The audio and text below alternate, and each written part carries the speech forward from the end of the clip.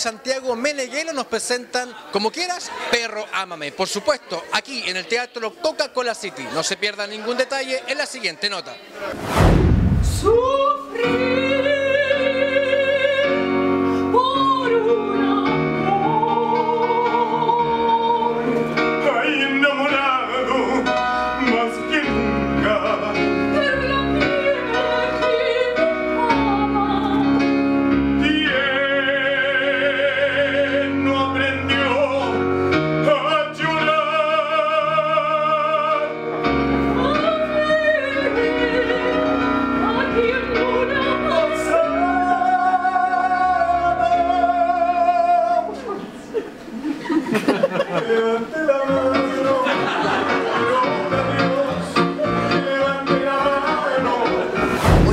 es una obra de teatro, es un concierto, es una mezcla.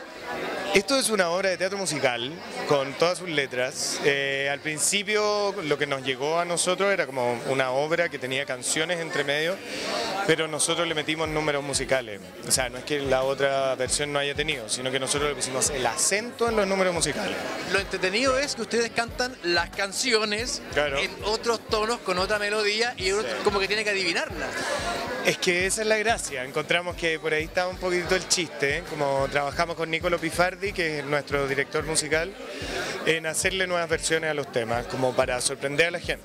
Es como sorprendente, ¿eh? porque ustedes cantan, bailan, actúan obviamente. ¿Cómo funciona el cerebro en ese momento? Oye, ¿cómo te lo explico? Eh, mira, la verdad que cuando yo conocí, cuando me mostraron esta obra, pensé que era mucho más simple de hacer, ¿ya? Pero nosotros, igual la versión mexicana, nosotros hicimos otra versión actuada. Entonces le pusimos mucho más color. En la versión mexicana solo cantan, no, no, no se mueven, no hacen lecera, porque igual obviamente los, lo- igual los temas son, son divertidos, son en, en tono comedia, no, no estamos pretendiendo hacer un musical de Broadway, pero exige muchísimo estado físico. Te lo tengo que decir, porque estás guapísima. Muchas gracias. Tengo que decir que Alta Moda hizo el vestido del personaje y además este es vestido es de alta moda. ¿Hay parte de ustedes, de la vida personal, en los personajes? Hay mucho de mí, mucho de Loren y mucho también como del equipo que trabajó con nosotros. No todos los chistes son de nosotros, sino que también ahí nos craneábamos mucho como en ensayo y todo, cómo, cómo podemos lograr esta escena, cómo hacemos que funcione. ¿Loren tiene algo de Samantha? ¿O de Sam? Sam? Sí. Uy, lo desordenaba.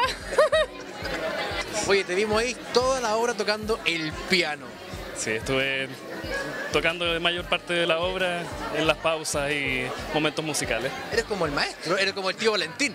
No, nada que ver, director musical de la obra, nada más. Oye, ¿cómo nace? ¿Cómo te invitan eh, el director de la obra a participar? Porque en el fondo generalmente ponen música envasada y ya nos salimos del cacho, pero tú estás todo el rato tocando en vivo. Sí, bueno, eh, él me encontró por otras obras que he hecho, Los Miserables o...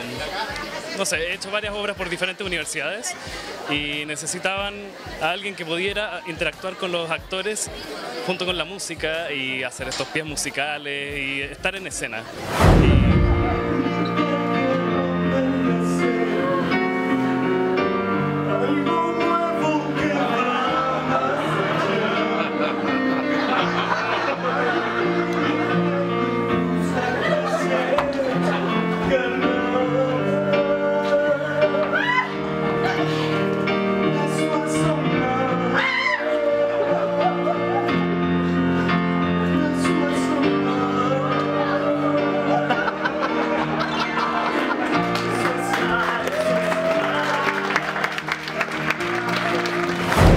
típico en nosotros que estamos conversando con alguien y después estamos diciendo, como en el pensamiento, sin escuchar lo que están diciendo, oh, qué fome, mira, mira".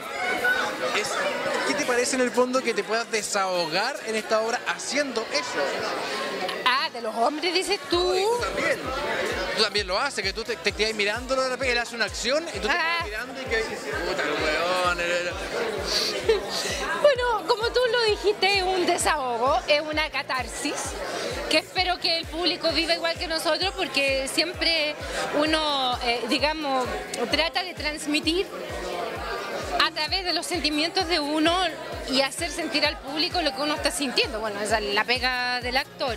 Y si eso se logra y si la mujer se siente identificada, si el hombre se siente identificado, por ejemplo, con esa parte de la mujer histórica, la que no se olvida jamás pero jamás de lo que le hicieron hace 40 mil años atrás. Eh, bueno, eso es lo bonito. ¿Qué te parece la obra? Maravillosa, entretenida, divertida. Uno se siente identificado con muchas partes de la obra, sobre todo la descripción de las mujeres.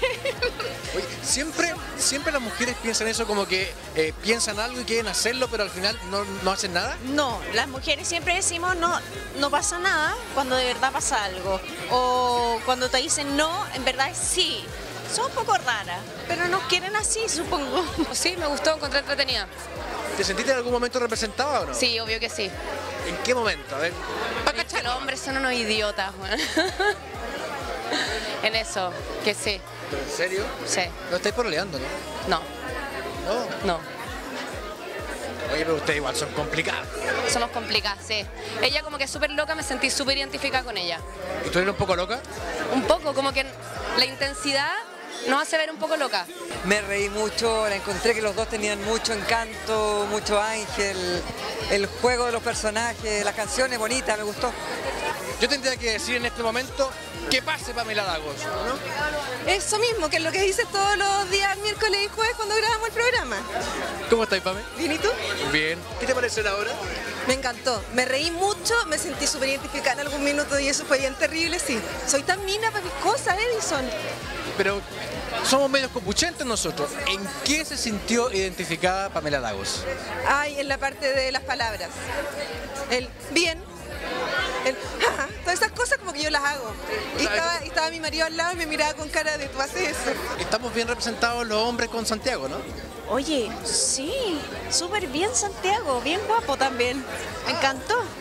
Bueno, el personaje tiene hartas cosas tuyas, eso. Sí tiene harto de esto de, que trata de conquistar.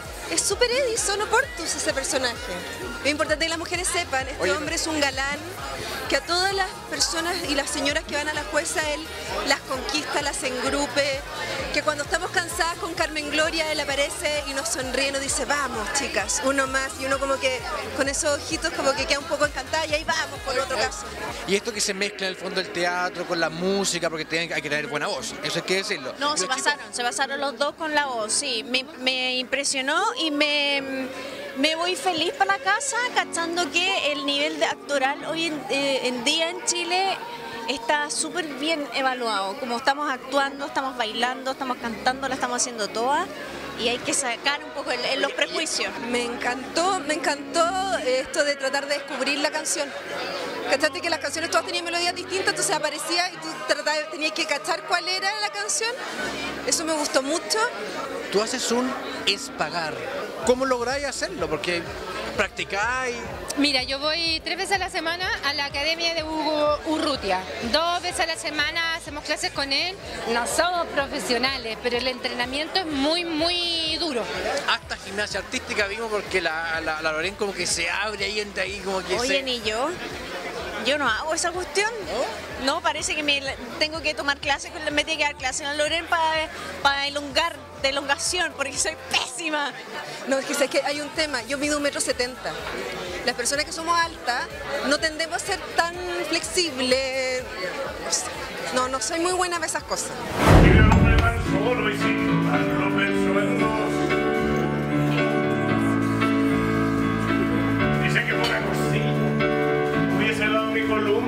Vertebral, borrar la santa. Una limosna.